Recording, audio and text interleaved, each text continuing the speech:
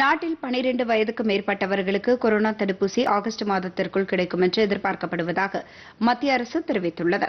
இதுகுறித்து கருத்து தெரிவித்த தடுப்பூசிக்கான தேசிய தொழில்நுட்ப ஆலோசனைக் குழுவின் தலைவர் doctor N K Arora Zydus Cadila என்ற நிறுவனத்தின் கொரோனா தடுப்பூசியின் ஆய்வு முடிவு அடுத்த மாதம் இறுதிக்குள் நிறைவடைந்துவிடும் என்று கூறினார். வரும் மாதங்களில் நாள்தோறும் ஒரு கோடி தடுப்பூசி செலுத்த மத்திய அரசு திட்டமிட்டுள்ளதாக தெரிவித்தார்.